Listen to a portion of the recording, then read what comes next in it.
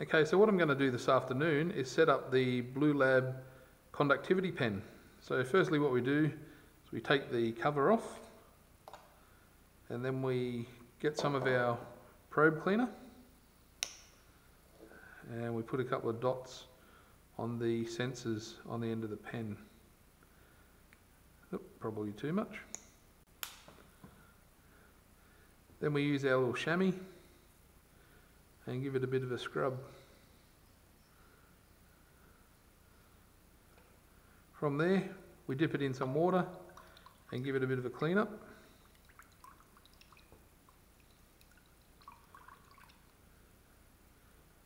And then what you're looking for is a film of water that's still on top of the sensors. And it's probably a little hard to see, but uh, it's definitely there. From there you put the shroud back on and you get some of your conductivity standard.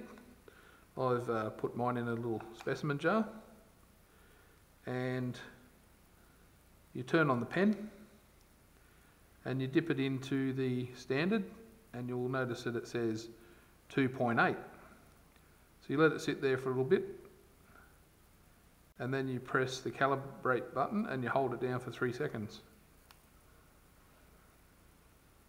You'll see it's calibrating and then you get a little tick down the bottom saying that it's all done. Now that's calibrated now for the next 30 days. Um, that little tick will stay on there for 30 days and uh, after then you'll need to calibrate it again. So that's it, fairly easy. So uh, thanks for watching. If you like the video, give us a quick thumbs up and uh, we'll see you next time.